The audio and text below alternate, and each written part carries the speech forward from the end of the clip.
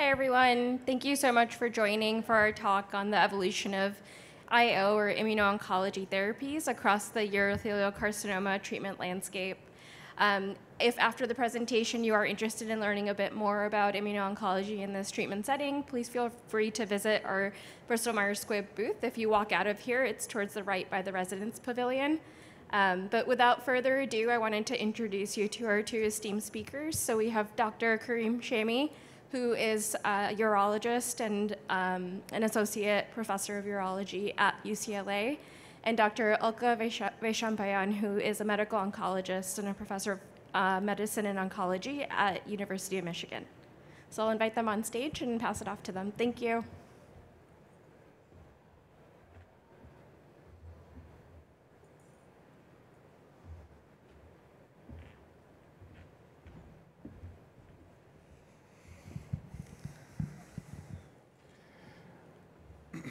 I'll see. I'm going to give you a little more time for people to find um, time to find a seat because it's pretty hard to get a seat in here. So, all right. So, um, so obviously it's an honor to be up here with uh, Ulka, who's uh, a thought leader in the management of patients with uh, urothelial cancer. And today we'll be talking about um, the muscle invasive setting, and we'll be talking about the metastatic setting.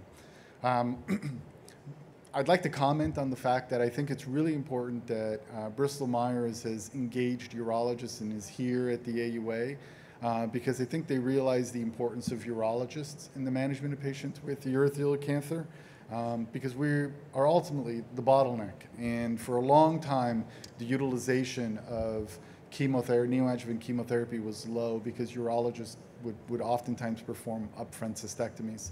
And with more and more level one data, the urologists are actually referring patients to medical oncology, and we're starting to see the field blossom and develop. So, uh, no further ado, let's go on to the next slide.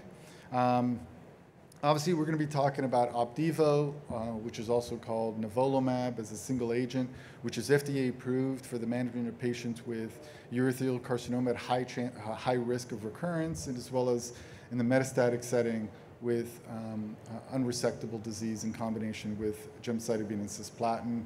Um, nivolumab is an immunotherapeutic agent which is associated with immune, immune mediated adverse events, um, infusion related reactions, complications with allogeneic uh, therapies, and uh, embryo fetal toxicities. Um, this is me, and I'm obviously, like I said, honored to be here with, with Ulka, who's a professor of medical oncology at University of Michigan and home of the national champions. So um, today I'll be talking about the 274 data to support how eligible patients with muscle invasive bladder cancer um, who are at high risk of recurrence after radical cystectomy or radical nephroureterectomy may benefit from adjuvant therapy.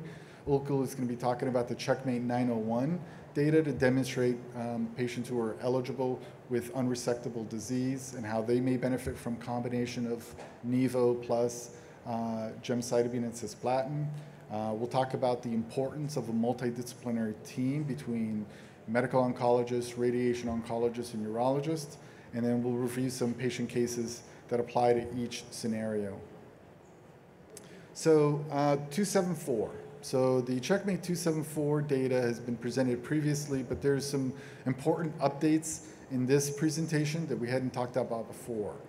Um, so upfront, patients with muscle invasive urothelial carcinoma, um, there's, you know, it's the fourth most common cancer in men, and it's the most seventh most common cancer overall.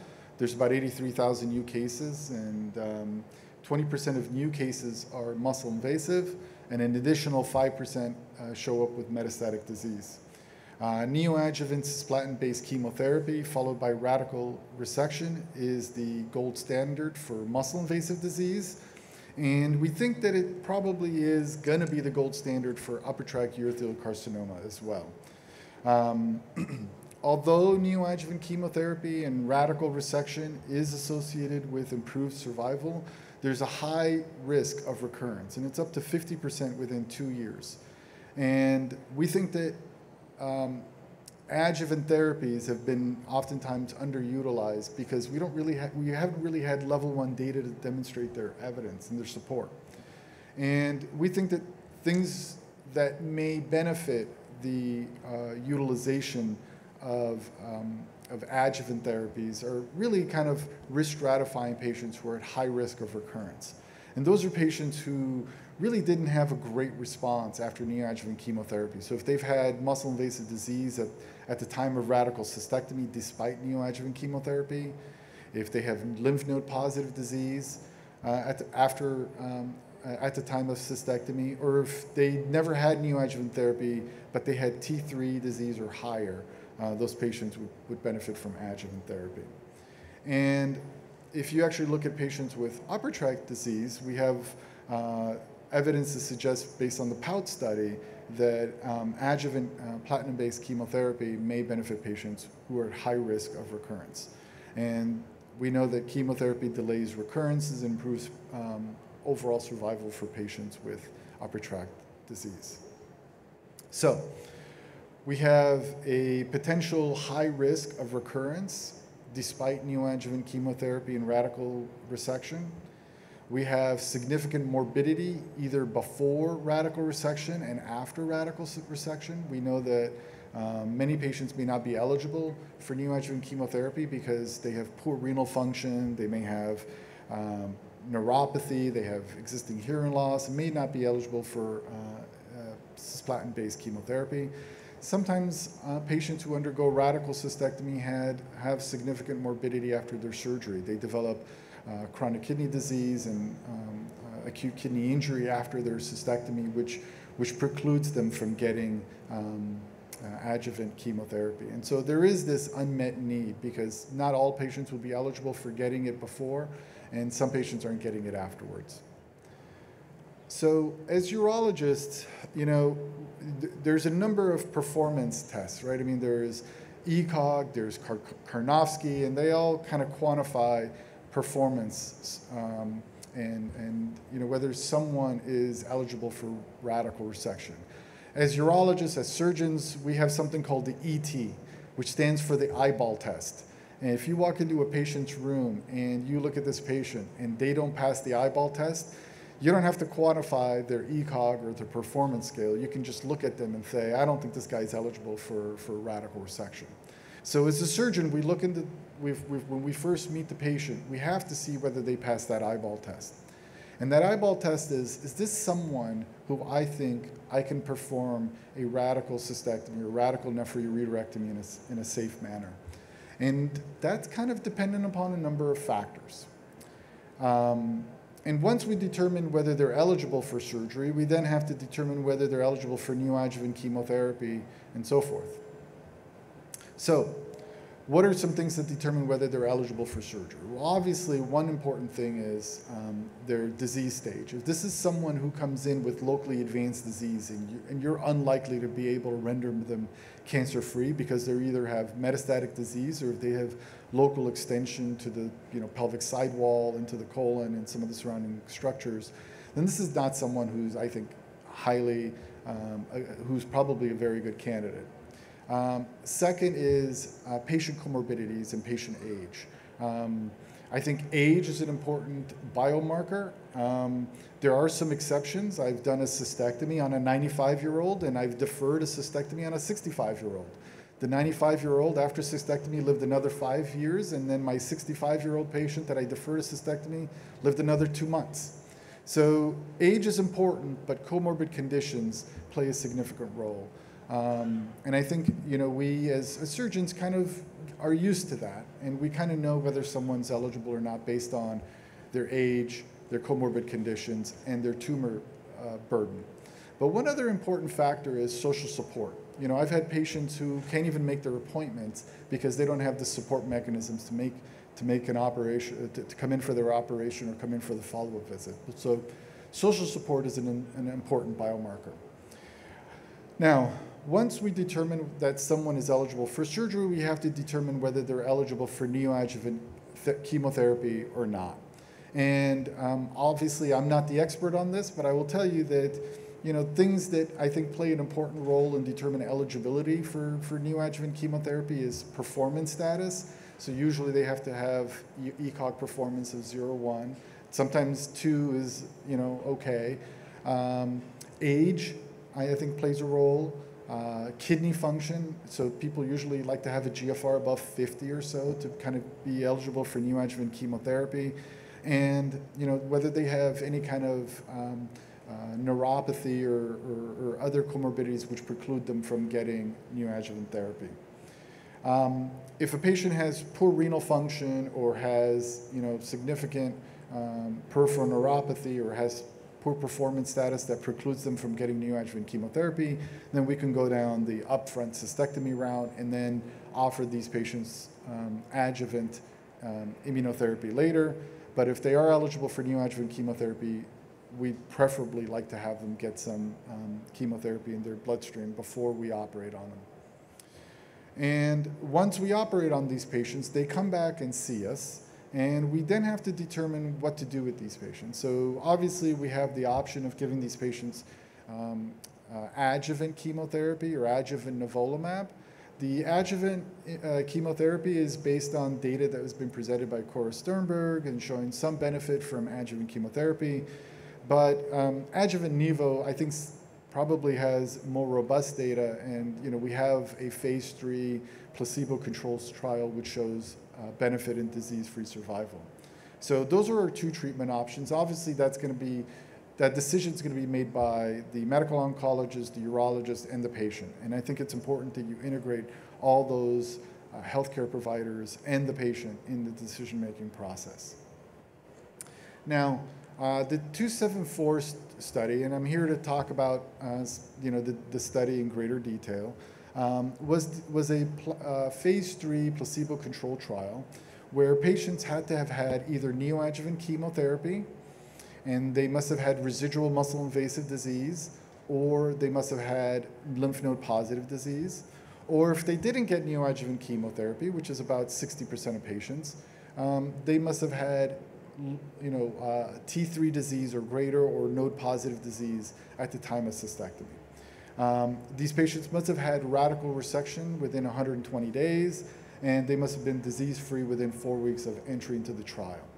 Their performance status must have been zero or one if they've had neoadjuvant chemotherapy, and they were allowed to have a performance status of two if, um, if, if, they didn't get upfront uh, uh, chemotherapy, but they had upfront cystectomy. We had about 700 patients, and they were randomized 50 to 50, either uh, nivolumab, 240 milligrams every two weeks, or placebo IV every two weeks. Uh, the cohort was stratified by PD-L1 status, uh, prior chemotherapy, and nodal status, whether they're node positive and or whether they had more than 10 lymph nodes removed. Um, they were treated for a year or until uh, recurrence or they were unable to tolerate it. And then the primary endpoint was disease-free survival that was determined by the uh, investigator in all randomized patients, but they also looked at it amongst patients who had high PD-L1 status. They also looked at secondary endpoints, which was overall survival and non-urothelial tract recurrence-free survival. Their uh, exploratory endpoints were uh, uh, metastasis-free survival, um, uh, PFS, and health-related quality of life. So um, the cohort is represents what we see um, in the muscle invasive setting, where we have about um, uh, median age of about 65 years. Three quarters of the patients tend to be men. Um, nearly half the cohort was from Europe, and, um, and about a quarter of it was from Asia. Um, most of the patients had uh, ECOG zero performance status, um, and only two and a half two and a half percent of patients had ECOG two. 80% um, of patients had muscle invasive bladder cancer, and about 20% had upper tract urothelial cancer. Uh, an important thing about this is that upper tract urothelial carcinoma only makes up about 5 or 6 percent of, of all urothelial carcinomas, but it makes up a greater proportion of muscle invasive disease and even makes up a greater proportion of metastatic disease. So even though we think of upper tract urothelial carcinoma as being a rare disease, they do make up a higher percentage of the more advanced uh, patients. Um, variant histology, minor variant histology, so less than 50% variant histology was found in about 40% of patients. Uh, PD-L1 was um, high PD-L1 status was found in about 40%, which is important, which means that about 60% of patients had PDL status, uh, PD-L1 status less than 1%. Um, node positive disease was found in about 47% of patients, which is, which is a significant number. And then 43% of patients received prior neoadjuvant chemotherapy. Now, um, he, these patients had a, a, minimum of 31 and a half months of follow-up period. And if you look at the DFS, the disease-free survival, you'll see that the um, disease-free survival for patients who underwent uh, nivolumab therapy or Opdivo had statistically significant improved DFS survival.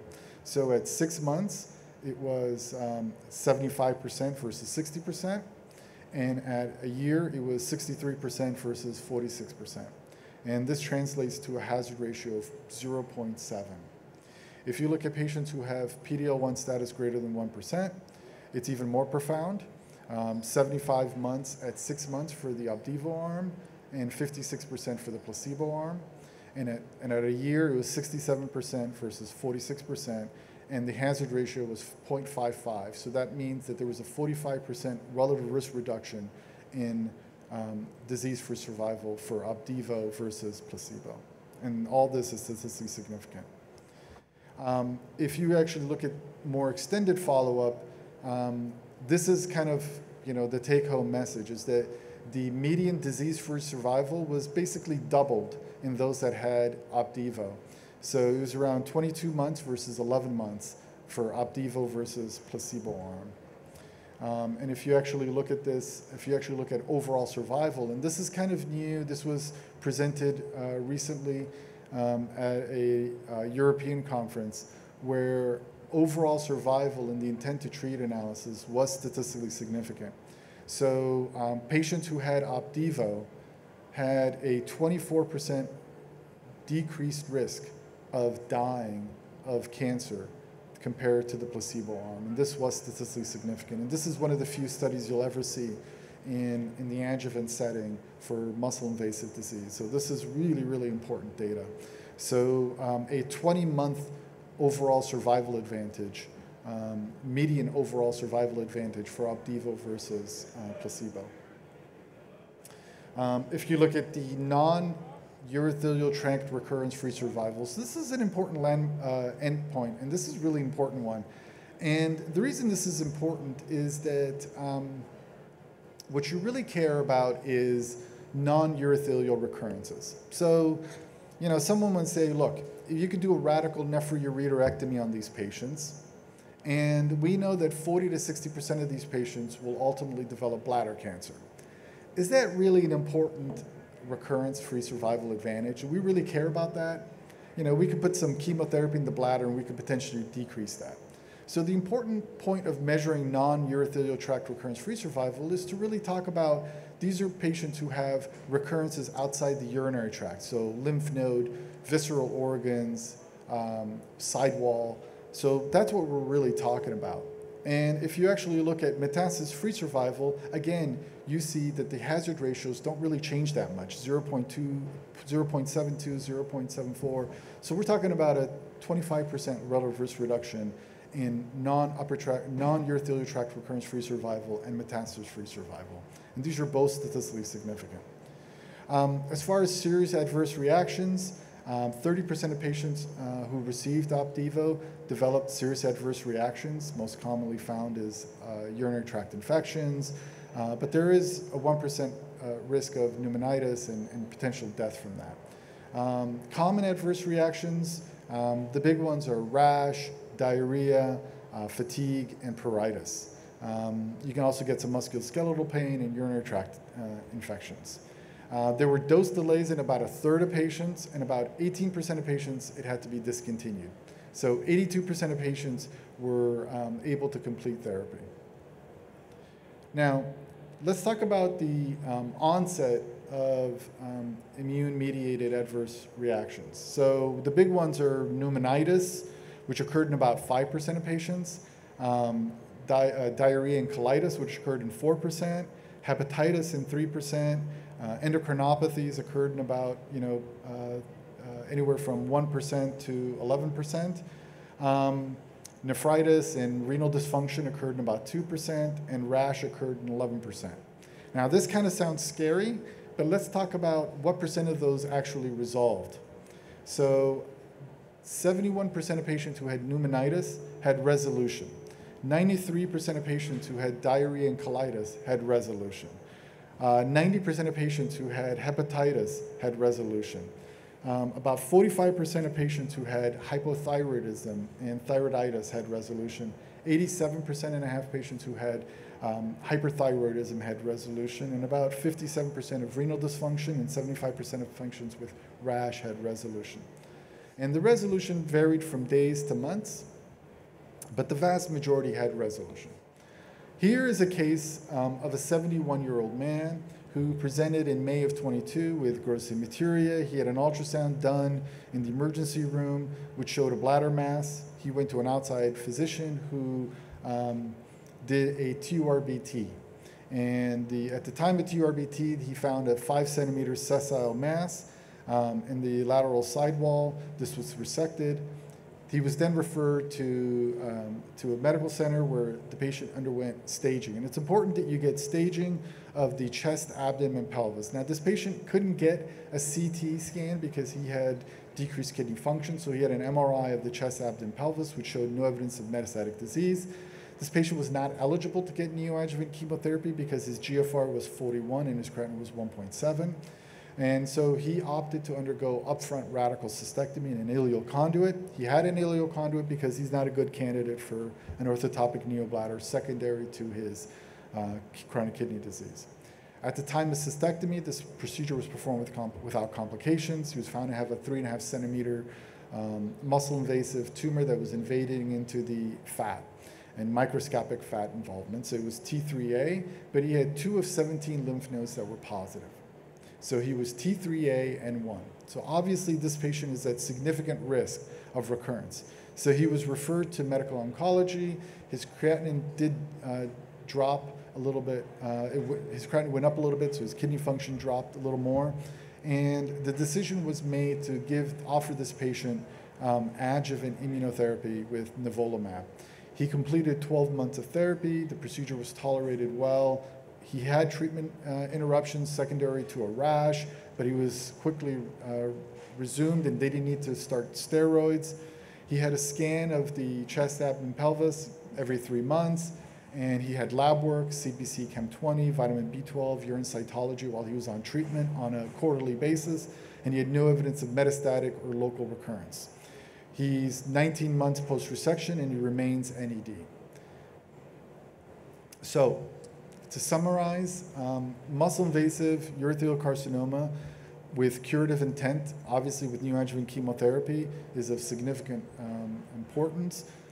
However, patients do still do develop recurrences and are at high risk of developing recurrences. I think that Opdivo and nivolumab can reduce the risk of recurrence. Um, at, the, at the primary endpoint of, uh, based on Checkmate 274 data, we demonstrate a disease-free survival and overall survival for patients who have had uh, nivolumab compared to uh, placebo. Um, uh, this, I think, underscores the importance of adjuvant immunotherapy um, as a standard of care for patients at high risk of recurrence. And I think it's important that we're giving a talk here at the UA, AUA because urologists have an important role as a primary member of the multidisciplinary team in the management of patients with muscle invasive disease. And with that, I'd like to pass the mic to Ulka. Thank you. Good afternoon, and uh, it's my pleasure to be here and talk to you about some of the exciting new advances in unresectable or metastatic urothelial cancer. We'll be talking about the treatment landscape. I just want to say, as a background, you know, cisplatin-based chemotherapy has been sort of our uh, pretty much our existence in urothelial cancer as the systemic therapy go-to.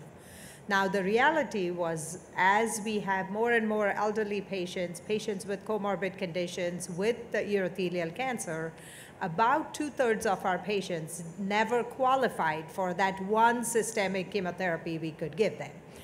So immunotherapy came along. It did change, and it at least gave these metastatic patients an option that they could be considered for.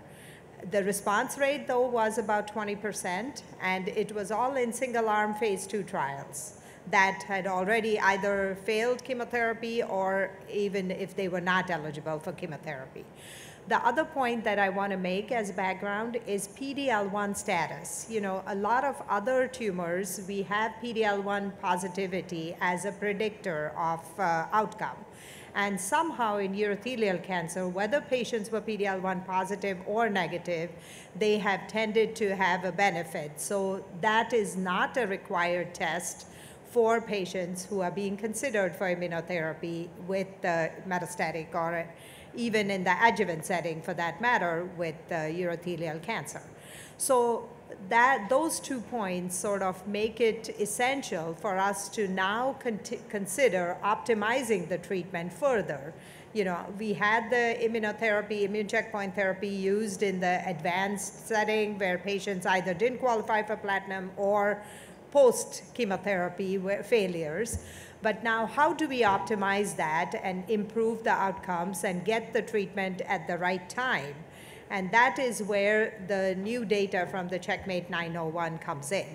So aggressive disease, this is a very aggressive disease. You know, almost everyone, this uh, is a terminal, incurable condition. So when patients have metastatic urothelial cancer, that is bad news all around. Five-year relative survival rates, as you can see up there, 8% or so. Now, hopefully they will change uh, as we have more and more follow-up with some of these newer treatments coming along. So with the advent of IO therapy, antibody drug conjugates, targeted agents, the treatment landscape has been evolving pretty rapidly. So here is frontline metastatic urothelial cancer. Previously, our uh, definition was cis-eligible versus cis-ineligible. And these were some of the cis-eligible uh, things that, you know, patients had adequate creatinine clearance, usually about 50 to 60 was by convention used as the cutoff, ml per minute. And then there were a couple of different options. So you could just do chemotherapy. Uh, and in recent years, though majority of us have been using four cycles of chemotherapy, assuming patients have benefit, then we uh, switch over to the switch maintenance regimen, like it's called. For the cis-ineligible patients, those were patients we used directly with immune checkpoint therapy. There was an arm looking at upfront just immune checkpoint therapy in all comers, and what was noted is that there you really need to make sure if the patients have PD-L1 uh, testing because that arm, if you're considering single agent immune checkpoint therapy, thinking the patient cannot get any possible chemotherapy because of their comorbid conditions or whatever, then you should run the PD-L1 testing and consider it, them only if they're PD-L1 positive.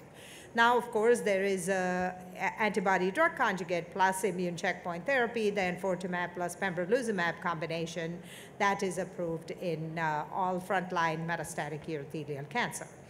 So these are some of the unmet needs. These patients are fairly sick, very usually are symptomatic from their disease, from renal failure, from obstruction, from pain, etc., pelvic pain typically, or if they have liver mets, you know, they have constitutional symptoms. So there is a huge need for effective and safe treatment options, and hopefully we can get to that curative stage and improve survival, at least in these uh, incurable patients. So multidisciplinary care does come in, especially in the patient case scenario where you're looking to sort of balance the quality of life and uh, uh, and the overall efficacy of the agent. So you have to consider how can you limit the duration of chemotherapy because you know giving chemotherapy month after month can be very draining, especially for these elderly patients with urothelial cancer and with quite a bit of uh, other comorbid conditions. So, you know, definitely think about radiation palliation for different metastatic sites, especially bone, spine, etc. And then, uh, of course, there is a lot of palliative care that needs to be involved in the management of these patients.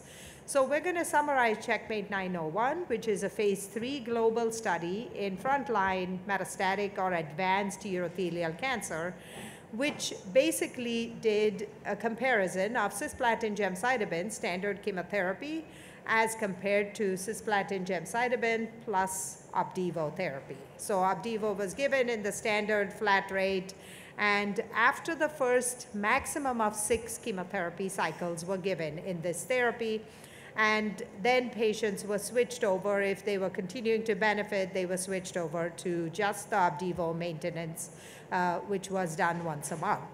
Uh, primary endpoint of the study was overall survival, progression-free survival, of course, response rates, et cetera, were also looked at. Uh, these are the baseline characteristics of this randomized study, very well balanced across both arms. If you look at it, whether patients were PD-L1 positive or negative, they were eligible. Uh, majority of the patients here, it's about two-thirds were PD-L1 positive, one-third were negative. Uh, and then this is the primary endpoint of the study, overall survival significantly improved with the addition of nivolumab or immune checkpoint therapy to cisplatin and gemcitabine chemotherapy. So median survival is 21.7 months and median survival of cisplatin and gemcitabine is about 18 months, pretty consistent with what has been seen uh, previously with this uh, chemotherapy regimen. Progression-free survival also was significantly improved. Uh, you know, again, you can see the curves there. And the interesting thing, I mean, this follow-up is relatively short still, you know, but we are continuing to follow these patients. But what you're seeing is that there may be a tail end on the curve. There may be some proportion of patients who are going into durable remission and uh, maybe you know this will continue to be sustained. We'll only have to wait for time to tell us that. Okay, so what about response rates? Because, you know, this, in the symptomatic patient population, responses do matter, and those were also improved with the addition of immune checkpoint therapy, 57.6% response rate, with the, the, addition of Opdivo to CisGem, and 43% uh, with uh, CisGem only. Uh, there were some CR rates in there also that were seen, and of course, like I said, time will tell if these duration you know, the remission, so not only did Opdivo have more patients responding to the chemotherapy plus Opdivo combination, but also there was a better chance of durability of re remission that was noted. Uh, here is the uh, independent uh, response review and pretty similar to investigator response review, so no major difference, but duration of response, as you can see, is significantly prolonged with the addition of Opdivo to the CisGem regimen. What about adverse reactions? I know uh, Karim already sort of went over the overall adverse reactions. Immune checkpoint therapy basically has a whole set of different adverse reactions than what we expect with chemotherapy. The main two main things to remember is that the timing can be unpredictable. So it can happen with the first cycle, it can happen with the 10th cycle. So you never know when those are going to hit, and that it can involve any system. It can involve the skin, do or uh, pneumonitis and colitis tend to be the more common ones. But really, you know, thyroid dysfunction as well as hypophysitis, neuritis, all of these system inflammations have been reported. So just as a caution, those are the side effects that are expected, which are very different from chemotherapy. Chemotherapy, usually the first cycle or two, you sort of get a sense of how this patient is going to feel. Should you adjust the dose? I would say the third thing, actually, of immune checkpoint therapy is that dose reduction really doesn't make a difference to the toxicity. So you either give it or you hold it unlike chemotherapy where you, you know, reducing the dose does alleviate the immune, uh, the toxicities that are noted. So those are things to remember. You know, there is a small proportion of patients who will get side effects. Majority of these are reversible. The quicker you use steroids and immunosuppression, you know, don't wait too long. Don't wait for doing too many testing. A lot of the times it is a clinical diagnosis. If patients have, for instance, uh, diabetes, that might be one scenario where you know, diabetes patient, you're going to give steroids to try and help uh, reduce their immune uh, flare-up. So immune-related adverse events really do need to be treated very judiciously. You need to monitor for them, need to monitor their kidney function, liver function. Transaminitis has been noted with uh, these uh, therapies also. So here is a list of the more common ones, but we sort of discussed it already. Nephritis has been noted. And frequently, the patients, uh, when they're admitted, the ER physician or even the medicine uh, physicians are not going to recognize that. I just had a patient in the hospital with urothelial cancer on immune checkpoint, and she was admitted. Two days later, her family member calls me saying she's in the hospital, and I find that she went in with hyperglycemia, glucose of 500 plus, and her kidney function, her creatinine was up to like five or six. The nephrologist was consulted and they had planned for a kidney biopsy the next day. So I actually intervened and I said, you know, please start her on steroids. Don't worry about the kidney biopsy just yet. And sure enough, within 24 hours now, her today her creatinine is down to two, and you know she's continuing to improve. So, so I think treating this correctly and quickly does make a difference. I had also given them instructions that if she doesn't improve in 24 to 48 hours, we want her to get uh, you know, higher immunosuppression like mycophenolate, infliximab, et cetera. So that is just something to keep in mind about these. But as Karim presented, 70% of the time they were reversible with steroids only.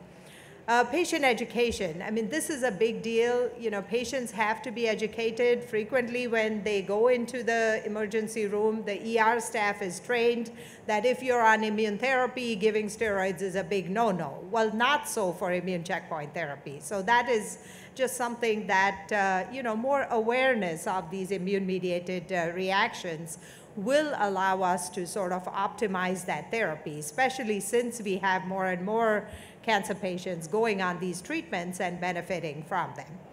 Uh, so recognize them early and treat and intervene quickly.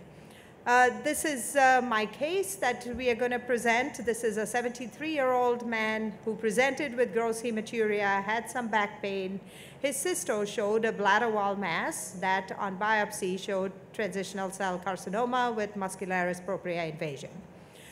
He had a CT scan for staging, and that showed bladder wall thickening as well as multiple lymph node metastases, both in the pelvis as well as retroperitoneum. Largest lymph node was about 3.5 centimeter. No other visceral areas of metastases. His creatinine is okay. EGFR is about 55, and he has some hypertension, but which is well controlled. Performance status is decent, about one. So for this patient, you know, what are the different treatment options? Clearly, this is stage four disease because of his retroperitoneal adenopathy, et cetera. But this might be a patient where you want to be aggressive with chemoimmunotherapy and assuming, depending on the type of response they get, maybe consider you know, potentially some kind of local therapy, assuming they are, uh, you know, showing a fairly good response and maintaining performance status. Again, whether you add that local therapy or not clearly is case dependent and very individualized. But at least starting with this maximum of six cycles of chemotherapy and not sticking the patient on chemotherapy for uh, prolonged periods of time may allow you to sort of have that balance of getting adequate response rate and uh, maintaining their quality of life. So patient was started and got uh, chemotherapy with cisplatin gemcitabine along with nivolumab. So this regimen is FDA approved based on the Checkmate 901 uh, trial data that I just showed you. So this strategy has shown overall survival benefit and showed response rates that were improved as compared to chemotherapy alone. So this is what we considered and started this patient on. And like I said, depending on the type of response, whether we consider adding local therapy is uh, very much an individualized patient decision. So to summarize, platinum-based chemotherapy has long been considered standard of care for frontline treatment of patients with metastatic urothelial cancer. Outcomes have been limited and really durable remissions have been few and far between. We just saw the long-term remission rate was like 5 to 8 percent. With the recent approvals of novel combinations, especially chemoimmunotherapy type of combination like the Checkmate 901 study with Opdivo and CisGem, there is a chance of better chance of response rates as well as better chance of potentially longer term remission or durability of remission. Risk of disease progression or death was reduced by 28 percent as shown in the study with the addition of Opdivo as compared to CisGem alone.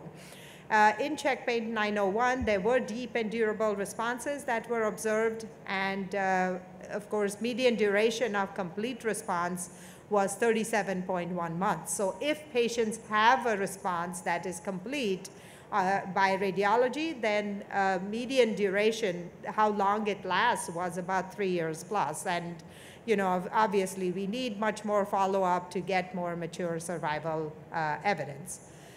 So the urologist's role, and I will let Karim have, uh, give us a few comments about this, but I think really what's critical is both medical oncology and urology need to work together for the optimal treatment of these patients, whether it be in the localized, locally advanced setting or potentially in the metastatic setting, as I've shown you here, uh, there should be that partnership, there should be that back and forth discussion about the patient at different steps as you go through.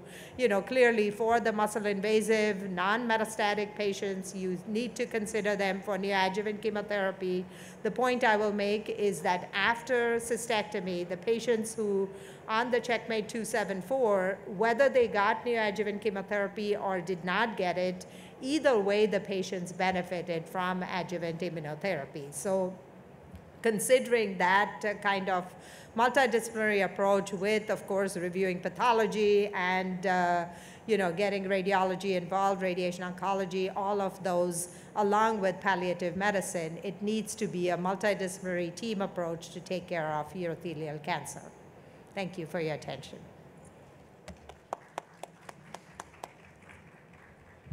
Um, okay, great talk. Um, should we have some questions from the audience? Is there anything that you guys, any burning questions that you'd like to ask?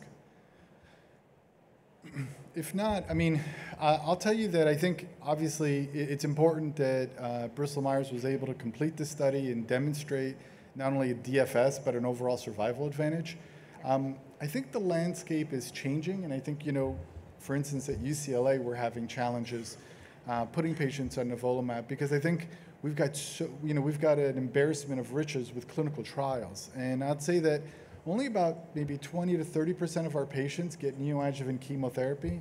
The vast majority are enrolled in a trial where they're either enrolled in the Niagara or the Volga or the Morpheus trial, where they're all getting either you know, immunotherapy, an antibody drug conjugate, or a combination. And, you know, um, the B15 study with Merck, initially um, it was patients who were platinum eligible, so they either get neoadjuvant chemotherapy or immunotherapy uh, with, with EV.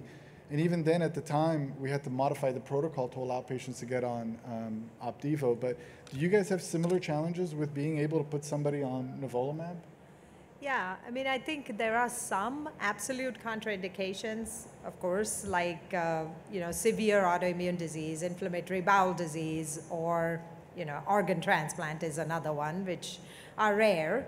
But uh, also, otherwise, I think majority of the patients, no, we are considering. Now there is actually a cooperative group trial called Modern that is going to be looking at biomarker-based minimal residual disease and then randomize patients to get uh, immunotherapy adjuvantly or not. You know, everyone gets uh, immune checkpoint therapy if they deserve it, if they have min- minimal residual disease present. So there is a lot more coming, I feel, for better selection of the patients. But uh, yeah, I mean, I think having that balanced discussion of risk-benefit ratio after uh, after cystectomy becomes more and more critical. Yeah. Yeah. Um, how many of you, you know, in the old days, you know, um, I mean by old days, I'd say 10 years ago, there were days, there were data that was published that only about 20% of patients who'd be eligible for neoadjuvant chemotherapy ever get neoadjuvant chemotherapy. Um, obviously, for the urologists in the room, you know, what proportion of your patients do you refer to neoadjuvant chemotherapy? More than 50%, more than 75%, 100%? Yeah. So, I mean, and, and, and, and, when a patient comes to you from a urologist, you always offer them neoadjuvant chemotherapy? Most of the time. There are some patients who just don't qualify for whatever reason, but most of the time, yes. Uh, and, you know, our supportive care has also gotten better and better. So we are able to get them through this chemotherapy somewhat easier than we were, you know, when the first MVAC type trial data came out uh, from the original neoadjuvant trial. Yeah. Brian? So, for metastatic urothelial carcinoma, with the changing landscape, are we moving imaging up because we have other options? You mean after they start therapy for metastatic Correct, disease? correct, to assess for response. Uh, not necessarily up. I think a lot of it for the symptomatic patient, if their symptoms improve, I tell them, you know, I really am in no rush to do the scan because, but if they're not going in the right direction, I think doing a scan sooner to try and figure out because if they're progressing, I have other options to offer them and you know genomic sequencing, there is FGFR inhibition, there are other things that I would need to consider and that I would rather do sooner rather than later. Great. All right. I think we're out of time, but if you have any questions, feel free to come up to us and ask us questions, and hopefully we'll, we'll, we'll answer them for you. Thank you. Thank you for your attention.